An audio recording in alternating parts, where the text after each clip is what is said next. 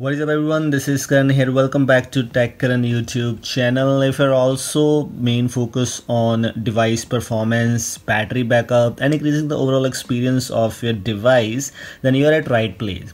In this video i'm to share with you that how you can increase your device performance and battery backup by just installing a magisk module. You must have a magisk installed. If you have magisk installed you have to install that module. The link is in the description for that module also that you can install directly. In this video i'm going to share with you some screenshots also of the performance graphs so you'll get an idea that how that module works. It this module does not have any ui by the way so you cannot customize anything. You can give it a try and if it works for you it's great. If something in case it's not working for you you can simply uninstall this module from the magisk manager app. Let's get started. Let's find out how to install this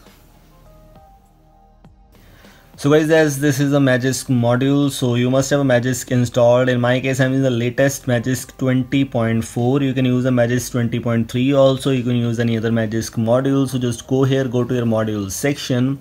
Here you have to click on the plus icon and here you have to allow the permission. And here we have this tweak which called king tweaks 1.6.5 dragon. Hashtag keep the king. So we have to just click here and it will start flashing.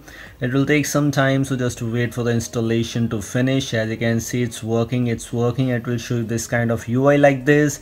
And after all these things and as you can see live boot script executed no reboot required. But reboot is recommended to apply some tweaks. So yes they said that no reboot is required but still it's better if we reboot our device. So just reboot your device and let's come back so guys after rebooting you'll see this kind of UI there which you can see the King Tweaks 1.6.5 Dragon is now activated. As you can see like this a module with the objective of maximize user experience and performance and as I already told you this module does not have any UI so you cannot customize anything. Just try it and maybe you'll get better performance and battery backup. You have to give it a try and if it works for you it's great. And if sometimes in case in some case if it's not working for you what you can do is you can simply uninstall this module directly by clicking this icon delete option from here. I'm gonna share with you some screenshots of that performance graph so you'll get an idea.